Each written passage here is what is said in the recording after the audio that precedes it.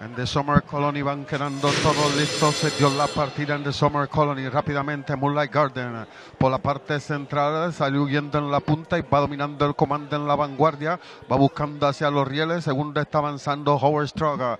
Va avanzando segundo. Moonlight Garden ha dominado el comando por dos cuerpos y medio por la parte exterior. Va avanzando No More Rich Blondes. Se va colocando segundo. Tercero por dentro. Va quedando Howard Stroke. Va quedando tercero. De cuarto viene avanzando Forever Lies, va avanzando hacia el cuarto lugar, de último ha quedado a Plalas to, China, ha quedado en la última posición, acercándose a los cinco postes, Moonlight Garden mantiene la punta por cuerpo y medio, segundo está Nomos Responder, está en la segunda posición, por dentro va quedando Howard Stroga, ha quedado tercero, de cuarto a cabeza está quedando por la parte del medio, Moonlight Garden mantiene la punta siempre, viene a la vanguardia, mantiene la punta por dos cuerpos y medio de atrás, avanza Place to China, tratando de coger el paso entre ejemplares.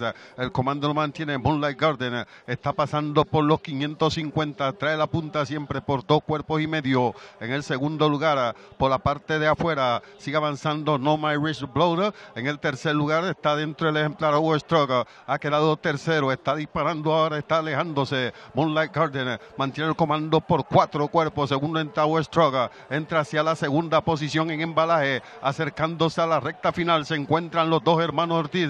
Moonlight Garden mantiene la punta por dos cuerpos y medio, tres largos. Segundo está Howard Stroga, está segundo Moonlight Garden con José Ortiz. Viene templado en la punta, tres largos mantiene Moonlight Garden en los 150, mantiene cuatro largos de atrás. Está avanzando a Plus to China, viene embalando Moonlight Garden, venciendo a Plus to China, llegando ganando Moonlight Garden. Segundo está arribando a Plus to China, tercero lo voló Farber Light, de cuarto está arribando Howard Stroga.